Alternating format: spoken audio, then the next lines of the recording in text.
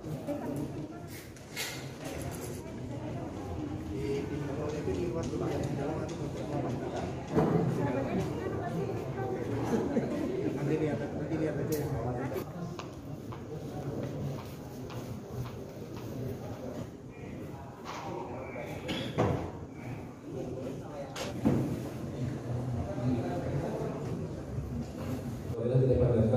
Allah Subhanahu wa taala karena pada kesempatan ini kita masih diberikan nikmat sehat oleh Allah Subhanahu dan juga mudah-mudahan nikmat sehat ini eh, kita apa namanya nikmati dan kita terima sampai paling tidak tahapan pilkada selesai sampai penetapan calon.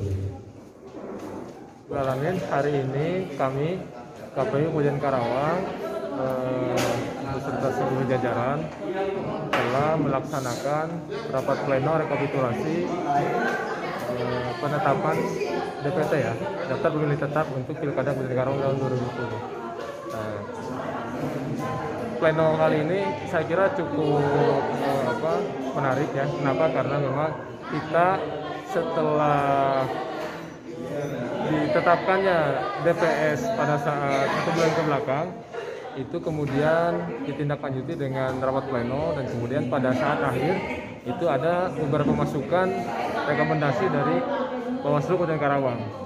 Rekomendasi tersebut mencakup pertama data potensi pemilih ganda, kemudian data pemilih yang di bawah 17 tahun tapi sudah menikah atau pernah menikah, dan kemudian yang ketiga kategorinya daftar pemilih atau pemilih yang sudah meninggal dunia.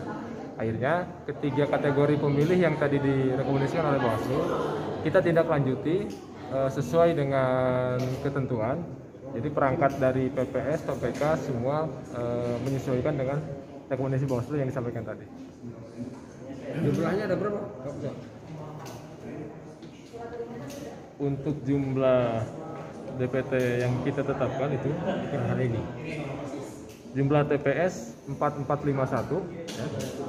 jumlah pemilih laki-laki 823722 pemilih perempuan 819768 jumlah pemilih laki-laki dan perempuan 1643490 laki-laki 1392